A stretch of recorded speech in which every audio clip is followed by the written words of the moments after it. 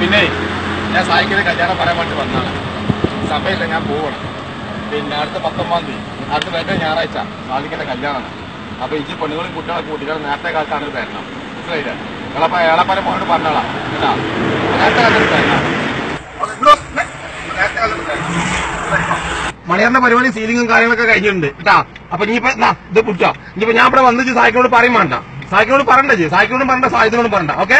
എന്നാ അത് പിടിച്ചോ അറിയടാ അത് പേരക്കുട്ടി തന്നെ? ആ പേരക്കുട്ടിനെ വിളിച്ചാ. ഇട്ടാ.